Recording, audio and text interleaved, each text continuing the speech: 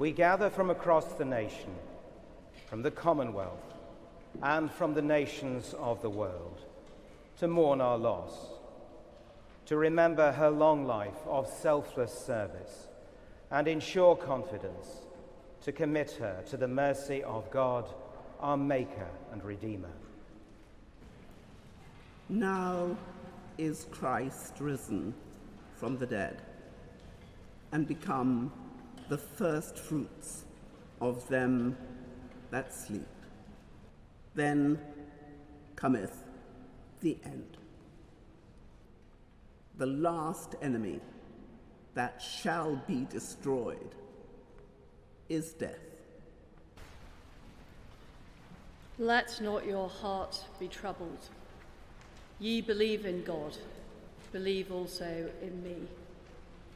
Lord, show us the Father, and it sufficeth us. Jesus saith unto him, Have I been so long time with you, and yet hast thou not known me, Philip? Jesus saith unto him, I am the way, the truth, and the life.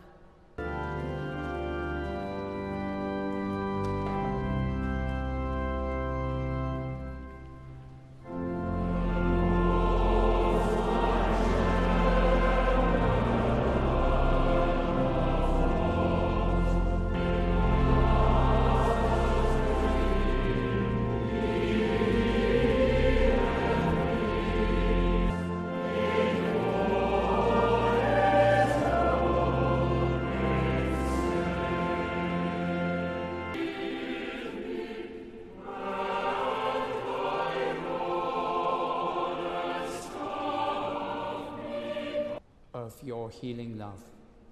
Amen. Her late Majesty famously declared on a 21st birthday broadcast that her whole life would be dedicated to serving the nation and Commonwealth. Rarely has such a promise been so well kept. In 1953, the Queen began her coronation with silent prayer just there at the high altar. Service in life, hope in death. All who follow the Queen's example and inspiration of trust and faith in God can with her say, We will meet again. Bring us, O Lord God, at our last awakening, into the house and gate of heaven. Let us pray to the Father in the words our Saviour taught us Our Father, who art in heaven, hallowed be thy name. Give us this day our daily bread, and forgive us our trespasses, as we forgive those who trespass against us. The power and the glory forever and ever. Amen. Let us commend to the mercy of God, our Maker and Redeemer, the soul of Elizabeth, our late Queen. In glory forever. Amen.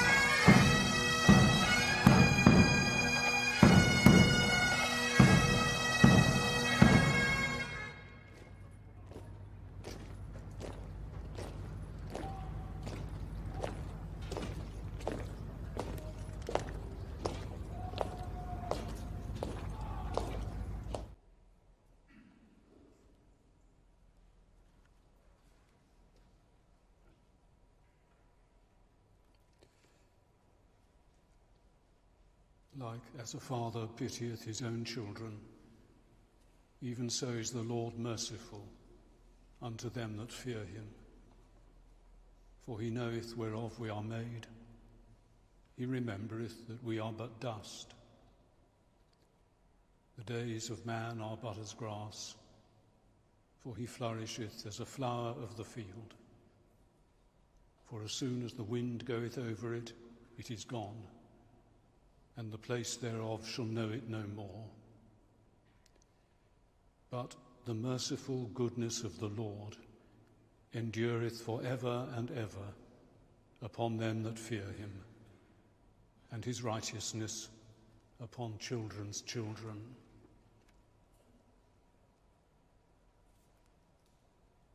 Go forth upon thy journey from this world, O Christian soul, in the name of God the Father Almighty, who created thee.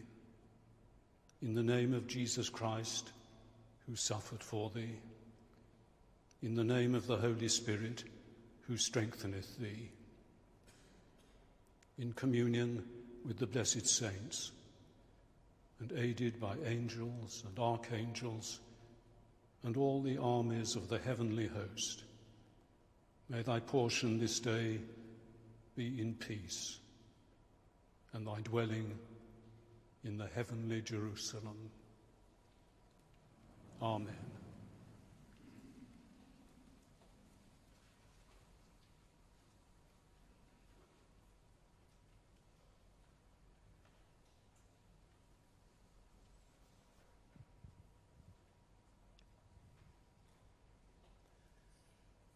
Thus it hath pleased Almighty God to take out of this transitory life unto his divine mercy, the late, most high, most mighty, and most excellent monarch, Elizabeth II. By the grace of God, of the United Kingdom of Great Britain and Northern Ireland, and of her other realms and territories, Queen, head of the Commonwealth, defender of the faith, and sovereign of the most noble order of the Garter.